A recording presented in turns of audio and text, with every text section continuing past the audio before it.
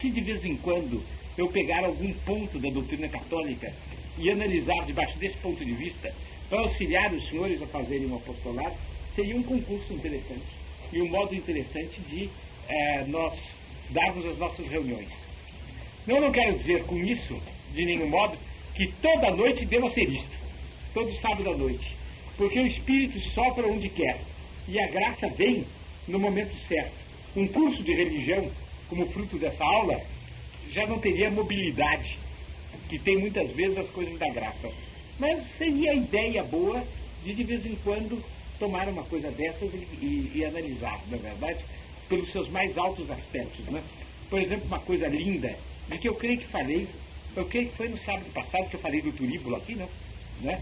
Tomar um turíbulo, por exemplo, e dizer que considerações mais altas a gente pode fazer a partir do turíbulo que realidades invisíveis nos são representadas pelo, pela, pelo incenso que sobe e pelo turíbulo que espalha o incenso e, pelo, e pela dança do turíbulo pelos ares, eh, contagiando com todo, espalhando por todo lado o incenso, não é? Como seria uma coisa bonita para tratar num determinado momento? Bem, os senhores poderiam guardar essas coisas na memória e no momento oportuno, quando os senhores tiverem certeza que isso não se tornará risível, os senhores falarem disso. Falarem então, por exemplo, do combate dos anjos com os demônios, como foi no céu.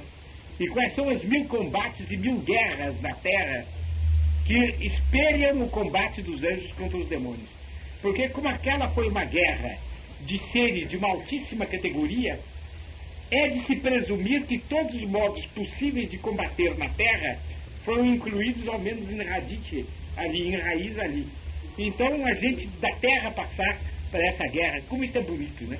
Eu confesso aos senhores que a mim isso me enche muito a vida e me dá um significado belo na vida. Para a gente viajar é uma beleza.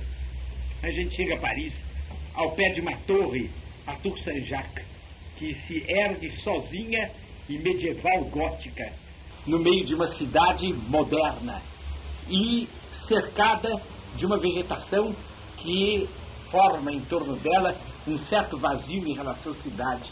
E as aves do céu pousam nela. Ela é toda cheia de pombos e de pássaros. E aos pés dela brincam as criancinhas, mas ela é uma altaneira torre gótica que fugiu a todas as destruições.